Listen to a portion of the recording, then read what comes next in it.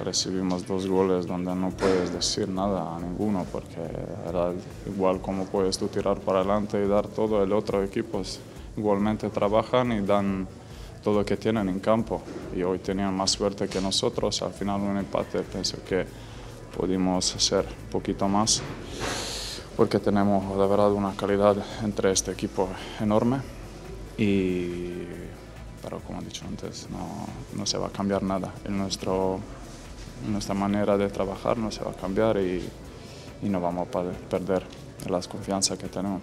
Bastante tiempo no he jugado, no he participado en juego, pero cada vez cuando entro me sentí de verdad importante porque este equipo te da esta sensación y yo me siento parte de este equipo y me voy a ayudar siempre cuando el mister me da oportunidad para hacer y para ayudar. Entonces hoy un empate que no nos, nos da una felicidad, pero este equipo no va a perder este carácter para que pueda ganar todos los partidos. Ahora tenemos dos semanas prepararse bien y ver qué tenemos que ajustar.